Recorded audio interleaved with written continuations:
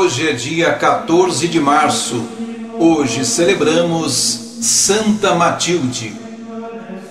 Matilde, filha de nobres saxões, nasceu em Westfália por volta do ano 895 e foi educada pela avó, também Matilde, abadesa de um convento de beneditinas em Erfurt.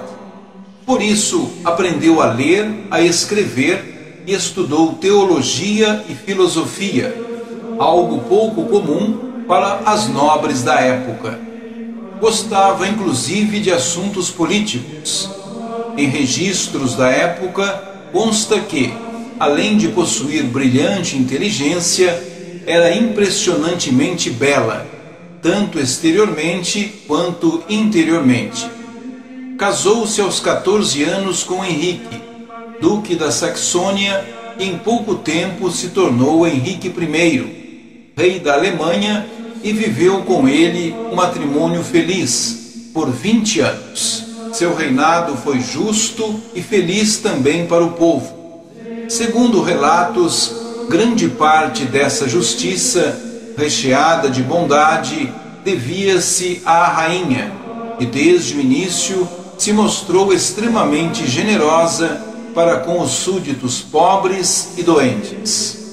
Enquanto ela assistia à população e erguia conventos, escolas e hospitais, o rei colocava a Alemanha em uma posição de liderança na Europa, salvando-a da invasão dos húngaros, regularizando a situação de seu país em relação à Itália e à França, e exercendo domínio sobre eslavos e dinamarqueses.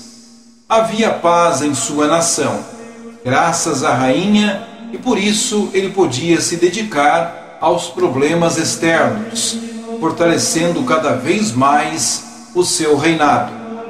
Mas essa bonança chegou ao fim. Henrique I faleceu e teve início o sofrimento de Matilde. Antes de morrer, o rei indicou para o trono seu primogênito, Otton. Mas Henrique, seu irmão, queria o trono para si, e as forças aliadas dos príncipes entraram em guerra, para desgosto de sua mãe. O exército do príncipe Henrique foi derrotado, e Otton foi coroado rei, assumindo o trono. Em seguida, os filhos se voltaram contra a mãe alegando que ela esbanjava os bens da coroa com a igreja e os pobres. Tiraram toda a sua fortuna e ordenaram que deixasse a corte, exilando-a. Matilde, triste e sofrendo muito, retirou-se para o convento de Enger. Contudo, muitos anos mais tarde, Otton e Henrique se arrependeram do gesto terrível de ingratidão e devolveram à mãe tudo que lhe pertencia. Matilde, então, distribuiu todos os seus bens aos pobres, preferindo continuar sua vida como religiosa.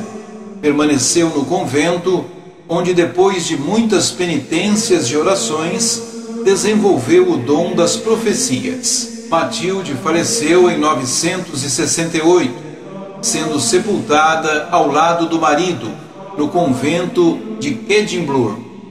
Logo foi venerada como santa pelo povo e propagou rapidamente sua fama por todo o mundo católico, do Ocidente ao Oriente. Especialmente na Alemanha, na Itália e em Mônaco, ainda hoje sua festa, autorizada pela Igreja, é largamente celebrada no dia 14 de março. Oremos. Senhor Jesus, a falta de solidariedade é o grande mal da humanidade. Pelos méritos de Santa Matilde, nobreza de pessoa e de alma, nós vos rogamos a graça de bem administrarmos os talentos e bens que de nosso Pai Celeste recebemos. Santa Matilde, rogue por nós.